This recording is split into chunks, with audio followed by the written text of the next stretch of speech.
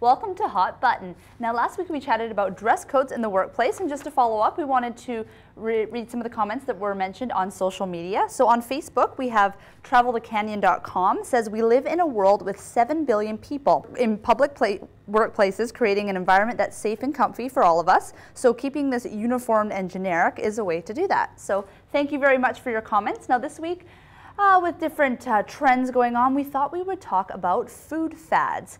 Now, you've heard about them, you've seen them everywhere. Every year there of seems to sort of be a trend or something that a lot of people tend to be doing, and the media is talking about it. There's everything from the Atkins diet a few years ago, South Beach.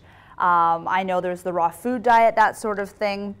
Uh, I've never really gotten involved in any of them. I mean, of course, it's very attractive. Everyone's doing it. They're getting results. So you're like, ooh, this is kind of interesting.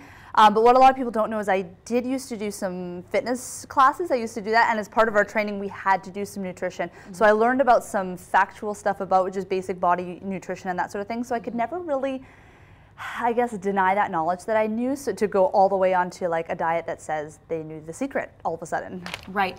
Well, um, I try to be um, a vegetarian. I'm actually a pescatarian, so that means um, I eat fish.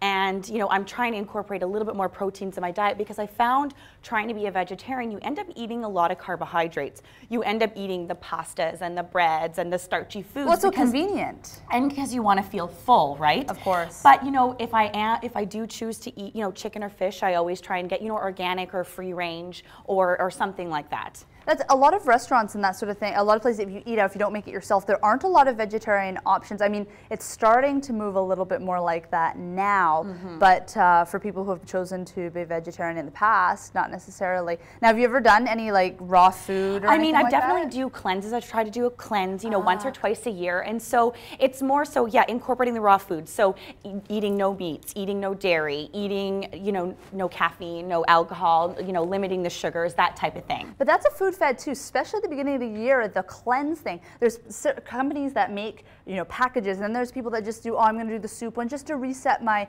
my body and that stuff. Does it like actually work for you? Like the Wild Rose cleanse, that's a really popular one as well. It does work, although I mean, you end up being angry because you're hungry the whole time. Hangry. Hangry. you end up being hangry the whole time, and as well as when your body is detoxing, because all those toxins are trying to get out of your body, you end up breaking out. Your skin is kind of bad. You're irritable. So it's not really a fun time, but you definitely do feel sort of lighter and you do get a little bit more energy at the end. But it's not long term. No, no, it's only about I think I've lasted 10 days at the at the most. And I think that's the the thing for most of these food fads. Most of them don't last.